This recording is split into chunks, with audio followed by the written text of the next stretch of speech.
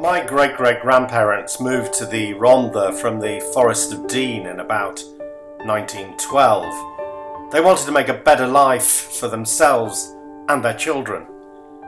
They became shopkeepers in Porth, then Cymmer, and my great great grandfather's brothers also had a shop in Penygraig.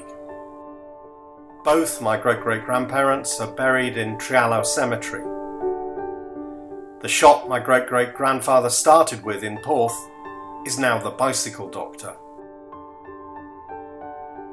For generations, the Rhondda has been a place of hope.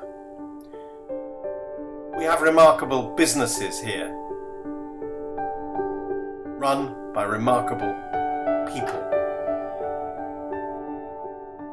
I'm fed up with the pessimists who talk down the Rhondda. That's why I've set up the campaign Rhondda Can.